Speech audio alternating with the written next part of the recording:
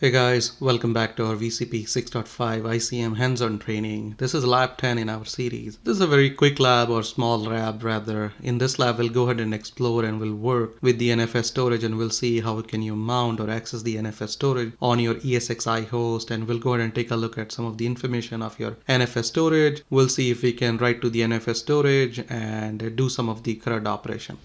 So this is the high level objective uh, that we plan to cover. And this lab will go ahead and configure or mount the NFS as a data store and then we'll go ahead and view the storage information and we'll go ahead and see if we can do read and write to your NFS data store or not. With that, let's uh, quickly jump into the hands-on. So we have logged onto our vSphere web client and we have been working with the different uh, data stores. Uh, to mount the your NFS, we can do it from the storage view or as well as we can do it from the host and clusters view.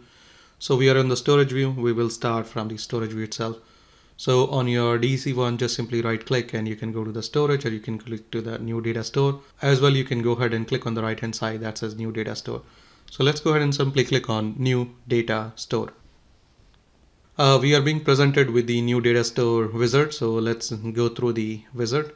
Simply go ahead and hit next here. So this time the data store type that we are working is the NFS. So go ahead and select the NFS as your data store type. Now within the NFS, there are two versions being supported, which is NFS version 3 and NFS version 4.1. Use only one NFS version to access a given data store. That means don't try to mount the same NFS uh, data store using two different versions. Uh, what I mean with two different versions, let's say you're trying to access the same uh, NFS data store and on one host you are trying to mount is a 3. On the another host you are trying to mount the same data store as 4.1. It's kind of not recommended and you know uh, can cause your data corruption and some of the other issues. With the NFS 4.1, uh, there are a few more things. If you see when I select 4.1, we are being presented with few other information, configure Kerberos authentication. Let's say if you want to have multiple IP address uh, assigned to your NFS data store and you want to have that redundancy, you can go ahead and make use of 4.1.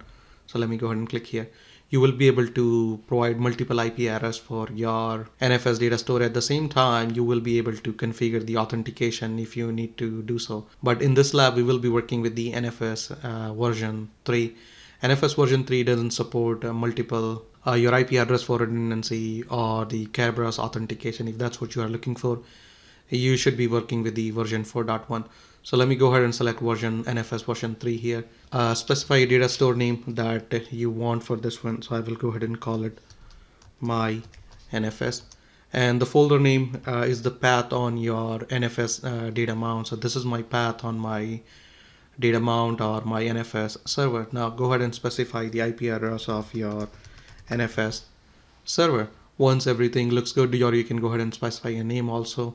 If you just want to mount this NFS as read only, you can go ahead and select mount as read only. That means you're only interested in reading some information, not ever writing. Uh, you can go ahead and mount this very well as in read only.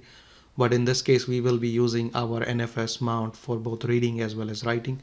So I'm not checking this box now, just simply go ahead and hit next here. Now we are being presented, okay, hey, select the host that require access to this data store. So we can mount this NFS onto one host or against to the multiple host. Mounting on multiple hosts will serve as a purpose of a shared data store. That means this data store, this NFS can be used as a shared data store that is accessible on all the hosts. So let me go ahead and uh, just simply do it on all the hosts at this time. So we will go, or if you just want one, yeah, you can very well just go ahead and select only one. I'll just go ahead and show you that we can mount on multiple hosts at the same time. So let me go ahead and hit next here. And now you're being presented with some of the information hey these are the hosts that we will be mounting. And now just simply go ahead and hit finish here. And if everything is okay uh, looks good we can see our new data store is being mounted successfully. And the name of the data store is my NFS it's NFS version 3 the storage capacity is 100 gig and some of the other details. If I go ahead and click on this uh, my NFS uh, let's go ahead and click on my NFS and if you go to the summary tab it shows you the similar information NFS3 uh, is the capacity the host it's being mounted on these are the different hosts. You can go to the configure uh, you can take a look at some of the things. Files now we are inside the my NFS just to see if we can read and write to the NFS let me just go ahead and try creating a folder.